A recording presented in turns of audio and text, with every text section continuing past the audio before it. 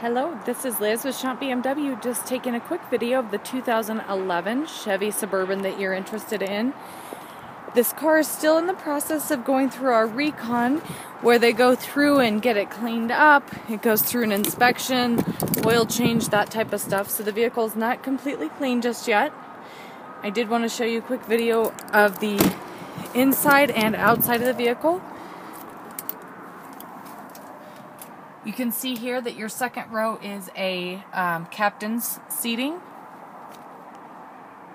So it is a seven passenger vehicle.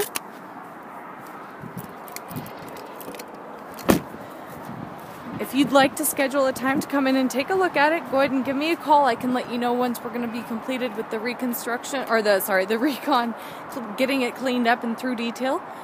Of course, at Schomp, our best price is always advertised online.